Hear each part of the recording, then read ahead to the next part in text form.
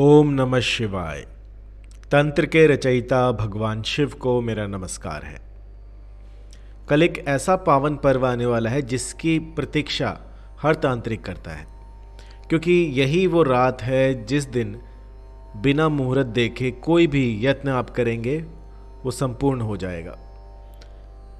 कोई नक्षत्र नहीं, कोई तिथि नहीं, कोई वार नहीं, बस जो साधना आपको करनी हो लग जाइए उसमें। और बहुत से लोग मुझसे पूछते हैं कि गुरुदेव, कुछ ऐसा कीजिए कि जीवन में परिवर्तन आ जाए। कई लोग ऐसे भी होते हैं जिनके जीवन में सुख नहीं होता लग्जरीज नहीं होती, और भौतिक सुखों की कामना में वो यहाँ वहाँ भटकते रहते हैं।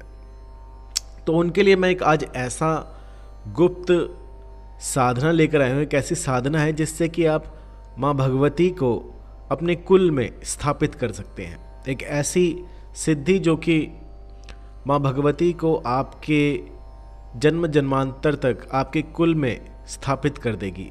अर्थात माँ भगवती स्थिर रूप से आपके कुल में आ जाएँगी और आपको किसी भी तरह की धन से रिलेटेड कोई परेशानी नहीं होगी। माँ भगवती को प्रसन्न करने के बहुत सारे उपाय हैं, लेकिन दिवाली की रात में अगर आप ये छोटा सा उपाय करते हैं तो माँ भगवती स्वतः ही आपके कुल में विराजमान हो जाएँगी। और आपको पता भी नहीं लगेगा कि आपकी मनोकामनाएँ कौन पूर्ण कर रहा है। और जो देवी हैं, वो बैकग्राउंड में सारे काम करती रहेंगी। आप अचंभित होगा कि आपकी एक छोटी सी साधना ने ये कैसा परिवर्तन कर दिया। तो आप अगर इस साल को आप एक बेहतरीन साल बनाना चाहते हैं तो ये छोटी सी साधना कीजिए और इसके बाद देखिए माँ भगवती किस तरह से आपके जितने भी दुख हैं सारे दूर कर देती हैं। तो आज मैं आपको बताऊँगा कि किस तरह से माँ भगवती को अपने कुल में स्थापित करें, उनकी प्राण प्रतिष्ठा करें, किस तरह से आप माँ भगवती का आशीर्वाद प्राप्त कर सकते हैं। सबसे पहले तो ऐसे कीजिएगा कि अष्ट धातु से निर्मित माँ भगवती की कोई ऐसी मूर्ति लाइए, जो कि कहीं से भी खंडित ना हो। बिल्कुल ठीक ठाक हो।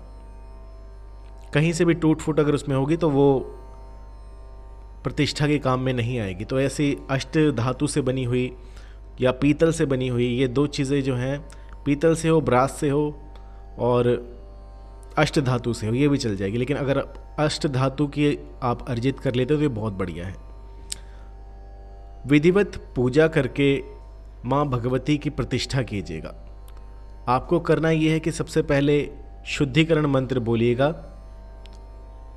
उसके बाद माँ भगवती को गंगा जल से स्नान कराइएगा। और जब आप मूर्ति खरीदे तो उसमें सबसे पहले आपको ये देखना है कि माँ भगवती की जो मूर्ति है, उसमें वो आपको आशीर्वाद दे रही है। एक हाथ उनका उठा होना चाहिए। ऐसी मूर्ति आपको लेनी है। उसके बाद शुद्धिकरण कीजिएगा मूर्ति का। गंगा जल से स्नान कराइएगा। फूल नवैद मिठाइयाँ, ये सब माँ भगवती को चढ़ाइएगा। और इसके बाद जो है, एक गुप्त मंत्र मैं आपको दूँगा, जो कि मैं यहाँ पर नहीं बता पाऊँगा। उस मंत्र से माँ भगवती की प्रतिष्ठा कीजिएगा। पूरी रात या फिर तीन चार घंटे आपको ये मंत्र बोलना है माँ भगवती की उस प्रतिष्ठा के सामने, उस मूर्ति के सामने। तो होगा ये कि माँ भगवती स्वतः ही उस मूर्ति में वास करने लग जाएँगी। और जब प्रतिष्ठा हो जाए तो इसके बाद कभी भी माँ भगवती की इस मूर्त मूर्त को अकेले ना छोड़िएगा।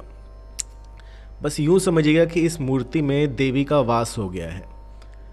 रोज़ सुबह, शाम इनको दीपक दिखाना होगा, धूप, नैवेद्य चढ़ाना होगा, तभी जाकर ये फलित होंगी।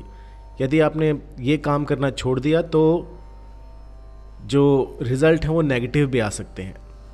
तो मंत्र के लिए मुझे कॉल कीजिएगा, triple nine two eight four सोलह पच्चीस पर। और सारी विधि मैं आपको बताऊँगा। किसी भी तरह की जानकारी के लिए मुझे कॉल कर सकते हैं। धन्यवाद।